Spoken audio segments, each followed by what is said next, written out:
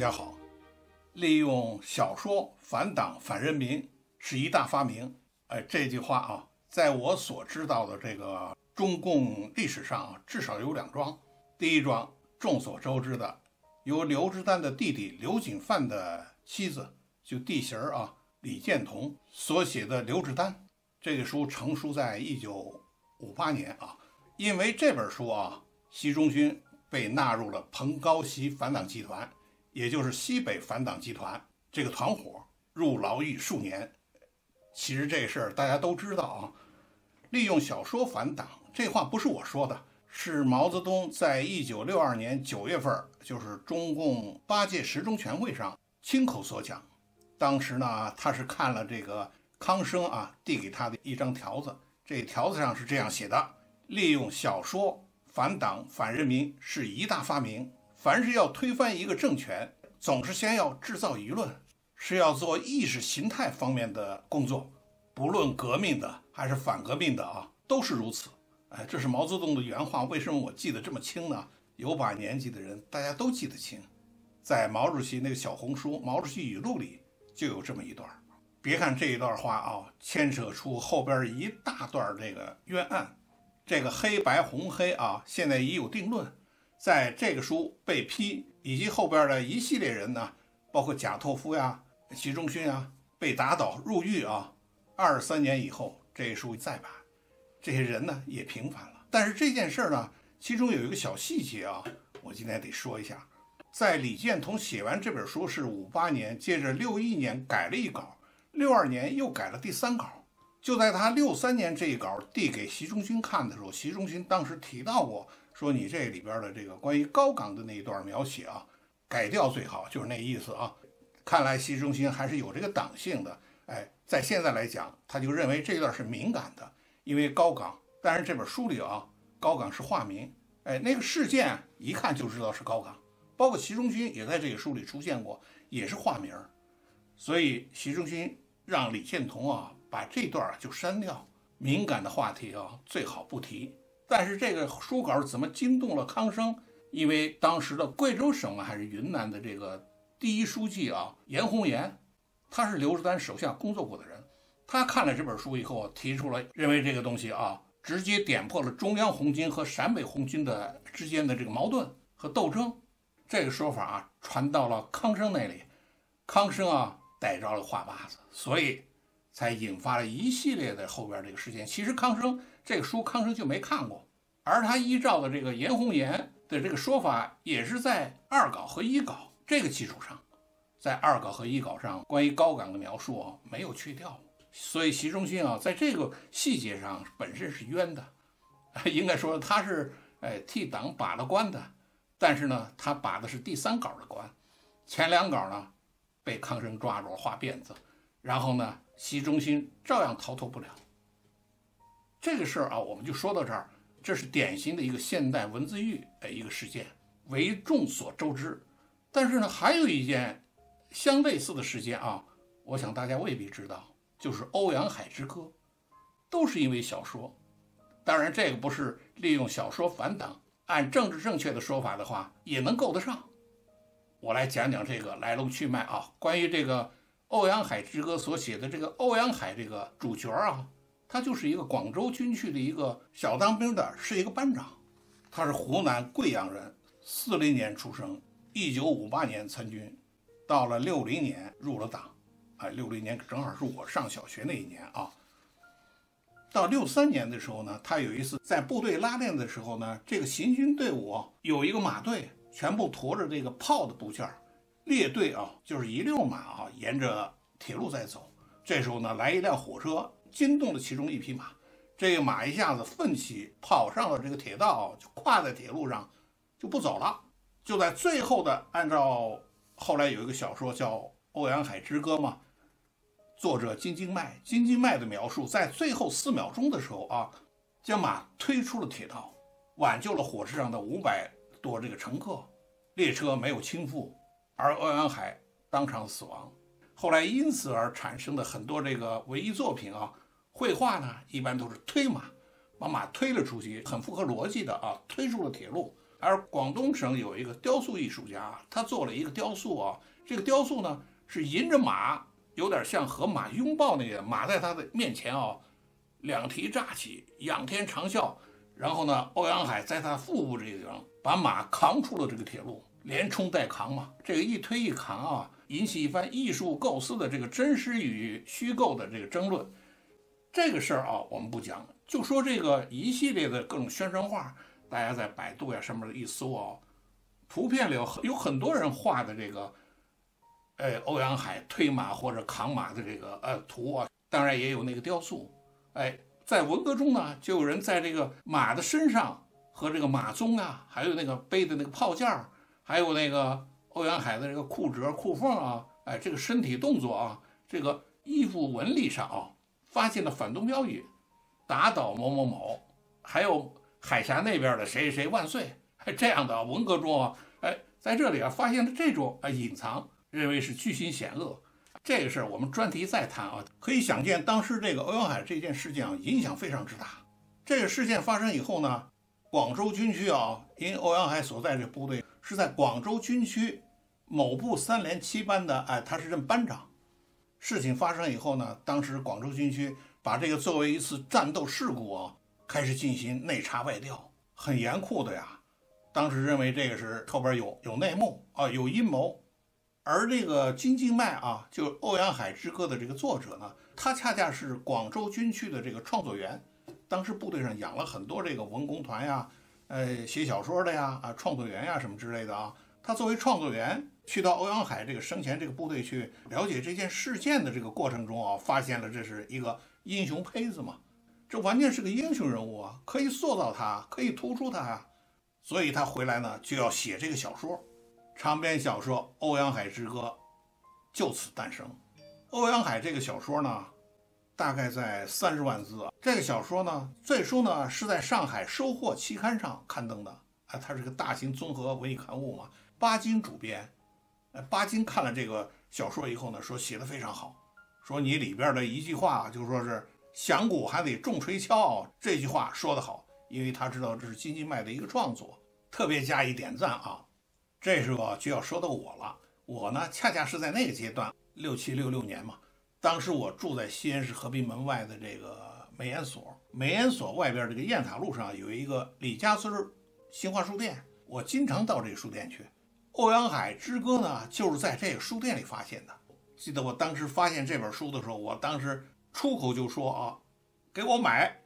刚说这个给我买，里边那个营业员啊，迅速伸出手来挡住了我，说说请，什么意思呢？当时那个书店里全摆的是毛泽东的画像，还有呢就是毛泽东的著作和单行本，另外就是红宝书啊，全是这种东西，一片红嘛，就是红海洋，没有别的书，唯一的书就是《欧阳海之歌》。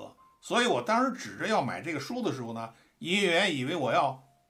买这个毛主席语录，那就说白了要说请，我忙解释啊，我不是，我是要这个《欧阳海之歌》哦，他这才明白过来啊，给我取了一本这个《欧阳海之歌》，那时候都不是开价售书嘛，我要他给我取，这样呢，我就获得了一本这个第一版的这个《欧阳海之歌》。这个《欧阳海之歌》呢，已经是在收获上发表以后呢，接着被解放军文艺出版社出版了第一版。我记得拿着这本书回去，那时候书很少，都看不着什么书啊。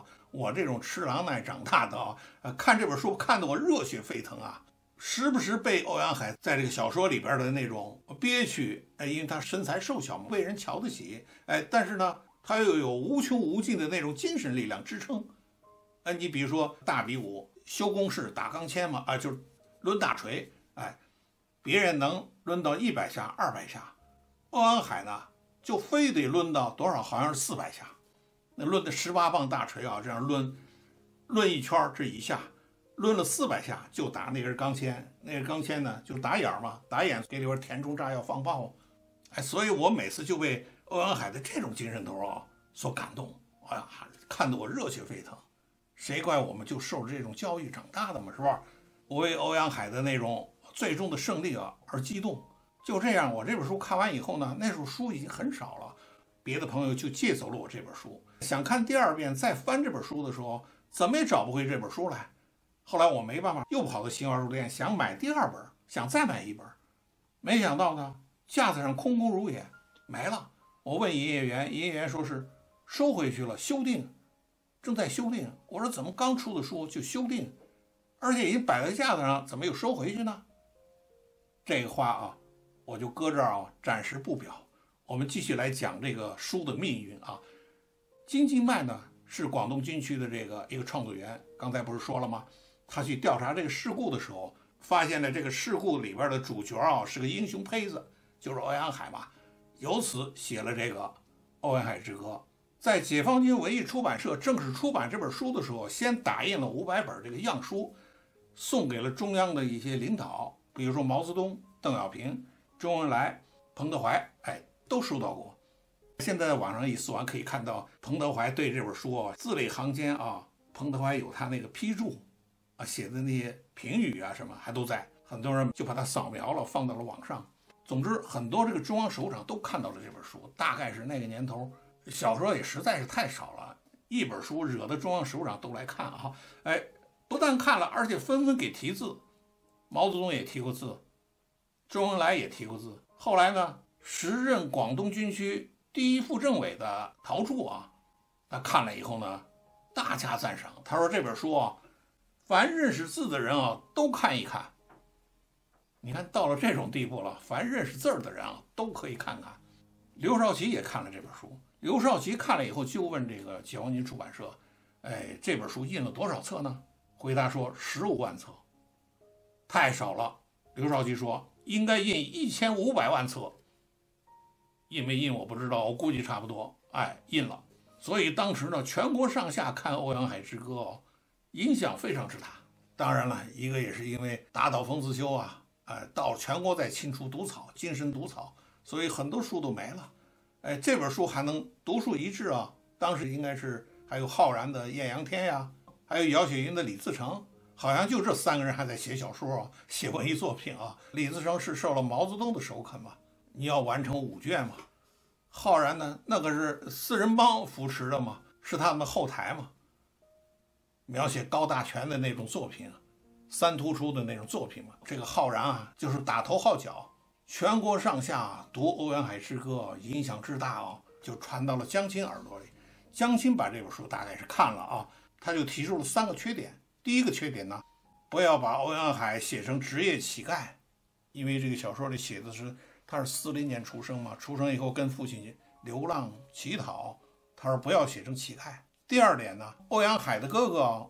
欧阳湖后来被国民党抓了壮丁儿，哎，这段经历也不要写。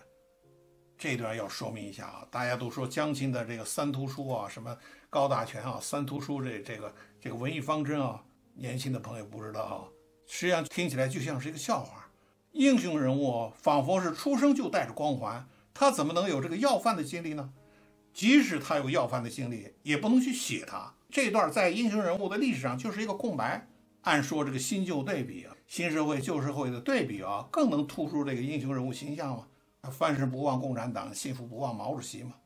但是不按江青的这个文艺思想啊，英雄人物落拓的时候啊，悲苦的时候的情景啊，不能提。这就是三突出，他出生就是高大全的，那不就是圣人吗？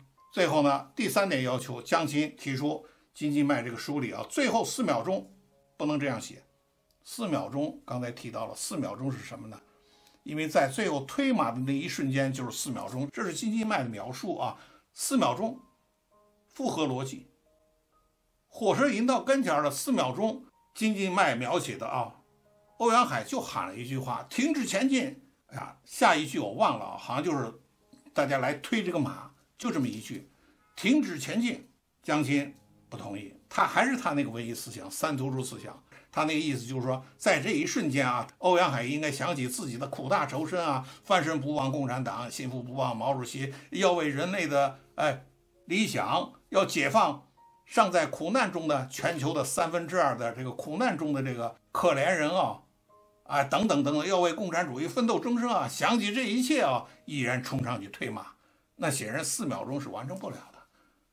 但是江青就要求这样，你最后四秒钟不能这样写。这不是笑话啊！后来，在一九六七年，这个书已经在全国有了一定影响以后呢，江青呢把金金麦招到了北京，就在金溪宾馆，就是中央召开全会的那个金溪宾馆，在金溪宾馆里呢，当着这个周恩来、康生、陈伯达三个人的面啊，就训斥这个啊金金麦，就说我提的那几条你没有改，好大的架子啊！接着又是一段恐吓啊，就说什么呢？我看你就是中了黑修养的毒。黑修养指的什么呢？就是那个刘少奇的。刘少奇那时候已经打倒了嘛。刘少奇的最著名的著作就是《论共产党员的修养》。江青这地方说的是，你就中了黑修养，就指这本书黑修养的毒。你这是想搞两个司令部啊？资产阶级司令部，毛泽东的无产阶级司令部嘛？他指的这个啊。这个书啊，不但要改，而且要消毒，而且要批判。迫于无奈啊，金金麦。返回以后呢，就琢磨着是不是要改这个呢？这时候呢，陶铸出面了。陶铸是谁呢？陶铸当时是时任广州军区的第一副政委，金静迈和这个欧安海都是他底下的兵啊，所以他当时就对金静迈说：“不用改，文艺作品哪有那么十全十美的？”在这种情况下呢，金敬迈当然改是很痛苦的呀，所以金敬迈就没有改，那四秒钟也没改，中间的哎。一些部分啊也没改，我就说说这一部分啊，这一部分是什么呢？我就给大家讲一段这个，算是情景再现吧。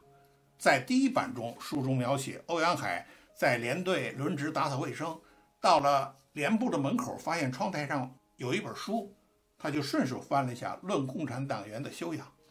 这一看不要紧，他入了迷，竟然忘了打扫卫生。大概意思就这么一段啊。我们继续往下讲。陶铸虽然说不计较、不必改，但是江青呢发话了呀。江青这时候已经是文革领导的核心人物了呀，你不改不行呀，他很记仇的呀。金金麦知道回过头去埋头改这一段，这我就要说到刚才说了一半了啊。我在书店里去买的时候，营业员说第一版收回去再修订。有一天我又去书店啊，突然眼前一亮，发现柜台上有了那个。《欧阳海之歌》摆了那么一排子，全是那本书啊！我说这书修订过的有了，人说有了，买了一本，价钱倒没改，发现那本书厚度不一样了，比原来好像厚了点儿，而且意外的发现侧面啊，那个书两边都是白的，中间加了那么一沓纸啊，是黑色的。哎，我就把那一段打开一看啊，恰恰就是我刚说的欧阳海打扫卫生的时候，看见连部那个窗台上放了一本。刘少奇的《论共产党员修养》，恰恰是这一段我就把这一段啊仔细看了一遍啊，他是这样写的，原话我已经记不清了，我只能说大概，大家去可以去看这个新旧本对照啊。欧阳海在连部门口打扫卫生，突然发现这个窗台上有一本书，《论共产党员的修养》，他过去顺手翻了几页啊，立刻粉面怒胀啊，愤怒地举起扫把。正好这时候来了一小股风，那个书啊被风这么一吹，翻滚到了地下。欧阳海借势啊拿着那个扫把就把这个书扫的飞到了垃圾箱里。就这么一段，是不是很有画面感呢？那 文化革命那个宣传画不都是那样吗？一个大扫把扫出一些牛鬼蛇神，哗这么一扫，那个小扫把上的小人儿，刘少奇呀、邓小平呀、谁谁呀，啪被扫到空中啊，飞向了垃圾箱。那是我们小学。小学图画课，小学生上课就是画刘少奇，因为刘少奇鼻子比较大嘛，头发是那种分头嘛，所以这两个要点，漫画的规则嘛，抓住要点，所以老师把他已经形象格式化了啊。我敢说那时候全国上下的小学生都会画刘少奇，漫画像。后来呢，就是那个大鼻头啊，首先要突出，鼻头上还要点几个麻点儿，就是酒糟鼻嘛。谁画的我看都像。那时候真有那水平，全国的小学生都有那水平啊！这题外话啊，我一看，原来那个书他是着了迷的看，现在是把这个书啊啪毒草嘛，这不就是批判吗？这就回到刚才那个江青说你是中了黑修养的毒，金金麦就这样把这段儿移花接木啊，改了一段新的故事加了进去。大家就说了，那为什么要那么费功夫啊，还加那么一层纸？国家财政困难嘛。财力有限，现在就是拉回去就造纸了，而那时候呢，就是把那几页啊印一遍，加进去，加进去怎么加呢？大量的人工，印刷厂有的是工人，装订拆开，加进纸页，然后刷胶，再用刀裁出来的书就是黑的白的夹在中间我把那叫百纳本啊。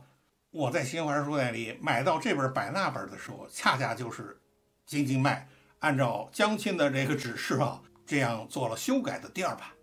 也因此呢，文革嘛，伟大的文艺旗手江青嘛，看金经脉听了话了，就把他调到中央，直接在中央文革领导小组里任了文艺组的组长。